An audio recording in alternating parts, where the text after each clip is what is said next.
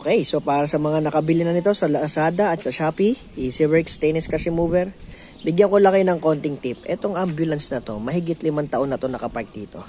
So kita nyo naman, araw-ulan, araw-ulan. No, nakita nyo headlight.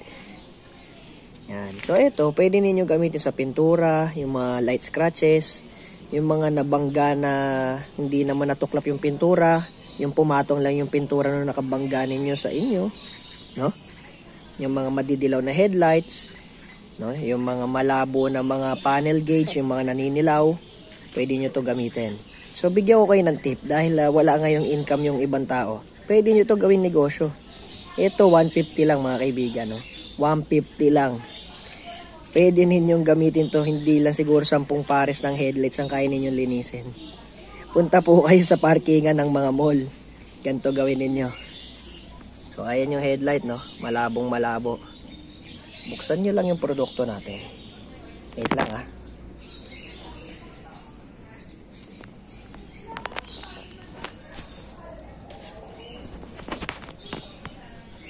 Ayan. So, pagkabukas ninyo nito, yan, lagay nyo lang dito. Pahid nyo lang sa headlight. Diretso nyo na. Yan.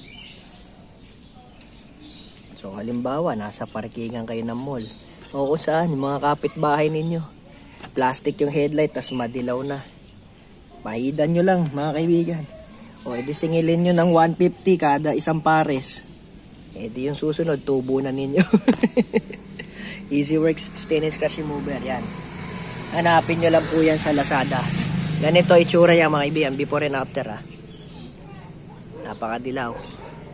Gamit lang kayo ng microfiber. Diinan nyo lang.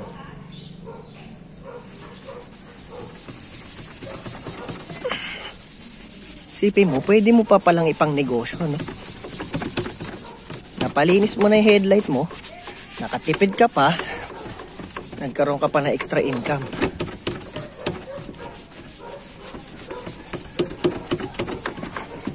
Nako, ayan na.